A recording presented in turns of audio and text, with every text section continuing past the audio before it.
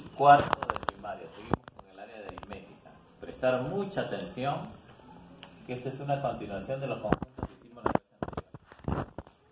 Vamos a hacer ahora operaciones con conjuntos. El año pasado ya lo han hecho, vamos a repasar un poco y avanzar. Eh, primero es la unión. ¿Qué es la unión de dos conjuntos? Es, acá en este gráfico que tenemos, la unión es todo sombreado, todo, A y B. Tengo dos conjuntos, junto todo y eso es la unión. ¿Ya? Vamos a ver con los ejemplos. Mejor luego cómo se forman esta unión. ¿ya? Tenemos la idea de que la unión es todo junto, sin repetir elementos. Y se representa con una U entre dos conjuntos. La intersección es solamente la parte común. En el gráfico solamente esta parte de aquí bien. Solamente esta parte es la intersección. ¿Ya? Borramos por acá y les explico algo. Este es algo diferente. La diferencia. ¿Cómo puedo hallar yo? Ya he hallado a unión B. ¿Qué es la unión B? Todo sombreado. Todo junto, todos los elementos. Sin repetir. ¿Qué es la intersección? Solamente esta parte común de acá. A intersección B. Ya lo hicimos. Diferencia. ¿Cómo hallo yo la diferencia? ¿Cómo hallo A menos B? Fácilmente en el gráfico hago esto. Mira. Si tengo A y le resto B, solamente cubro esta parte de acá y la respuesta va a ser todos los elementos que están en esta parte de aquí. ¿Ya? Vamos a sombrear solamente esta parte de acá. Eso es A menos B. Y también puedo hallar B menos A, sí. B y le quito toda esta parte de A, lo cubro esta parte de acá y solamente me queda esta parte de aquí, que es B menos A. Con los ejercicios vamos a entender mejor, ¿ya?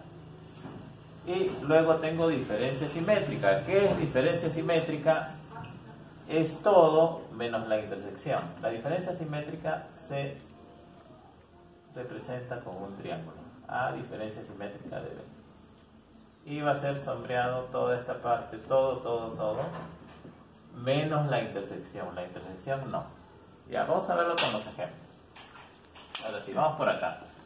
En la página 21 de su libro, ejercicio número 2, me dan un gráfico. A ver, aquí está el gráfico. Está sombreado todo. Y me dicen cuál es la operación que se hizo con todos los conjuntos para que quede todo sombreado. Y yo me acuerdo de la unión. La unión es cuando yo sombreo todo. Entonces, en este caso, estoy uniendo A con B y con C. Estoy uniendo todo. Y también con D, porque D está por el centro, tiene elementos comunes con A, B y C, pero también está sombreado todo. Entonces, la respuesta, miren qué fácil es, es A unido con B, unido con C y unido con D. Esa es la respuesta. Así de fácil, ¿ves? En el ejercicio número 4, acá tenemos ejercicio número 4, dados los conjuntos, acá está el primer conjunto, 7, 8, 9, 10 son sus elementos, el, el conjunto D, el conjunto E, 7, 8, 9, el conjunto F, 8 y 10, y un conjunto G que dice X tal que X, todo con su libro, por favor, para avanzar más rápido. X tal que X que pertenece a los números naturales, X es par, pero está entre 7 y 12. No incluye 7 ni 12. A ver, ¿qué números serían? Números pares entre 7 y 12. Ajá, el 8 es un número par, el 10 es un número par, y luego seguiría el 12, pero acá dice que no es menor igual, es menor que 12, o sea que el 12 no va en el conjunto, solamente 8 y 10. Ya tengo los cuatro conjuntos por extensión. Ahora lo que voy a hacer en la letra A es hallar E intersectado con G. Acá está E y acá está la G. Ya. Para graficar, acá lo voy a separar la E y la G para que vean qué fácil es. Ya, acá está E, sus elementos son 7, 8, 9. Y acá está la G, que son 8 y 10. Primero tengo que ver, para llevar al gráfico, lo que tengan en común. ¿Qué se repite? ¿Cuál es el elemento que se repite en E y en G? A ver, el 7 no, acá no hay 7. El 8 sí está repetido. El 10 ni el 9 tampoco, solamente el 8. Entonces, ese número que se repite va acá una sola vez. Y Ahí está el 8. Y luego escribo todo lo que falta a la E primero. En la E tengo 7, 8, 9. El 8 ya está, falta el 7 y el 9. Ahí está la representación. Eh, para la G falta el, el 10 porque el 8 ya está, acá está el 10. Esa es la representación gráfica de E intersección G. ¿Ya? ¿Dónde va la intersección? En esta parte de acá. Vamos a centrar, ¿ya?